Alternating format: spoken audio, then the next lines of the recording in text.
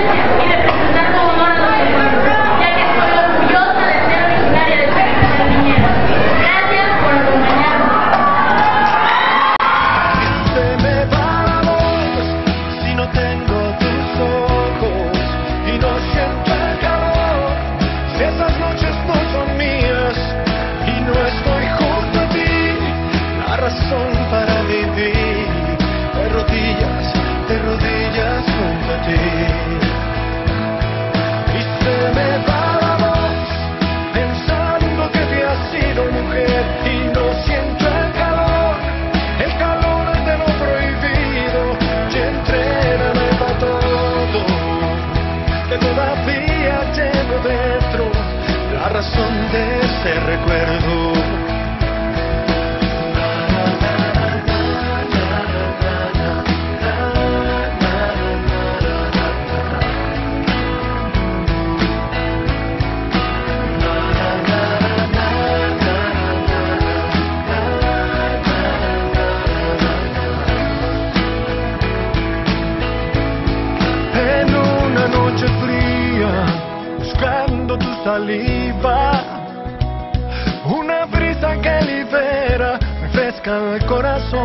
enséñame la vida, porque contigo estoy dispuesto a la razón y al corazón.